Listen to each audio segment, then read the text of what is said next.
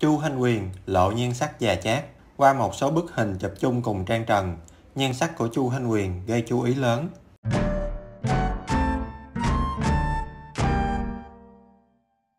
Dù để lộ vô số bằng chứng hẹn hò, nhưng cả Quang Hải và Chu Hanh Huyền chưa một lần lên tiếng nói rõ mọi chuyện.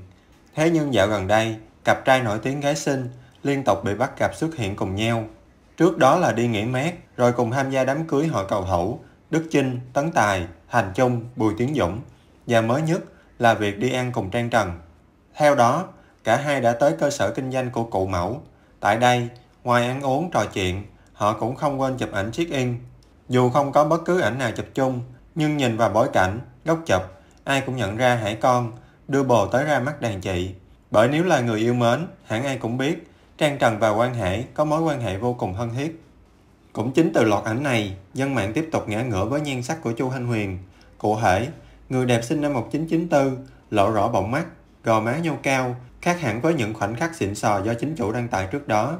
Ngay khi xuất hiện, netizen lập tức bàn tán rơm rã, trong khi một số cho rằng có thể là do góc chụp, số khác là giật mình bởi ngoại hình nhìn già đi mấy tuổi của Chu Thanh Huyền.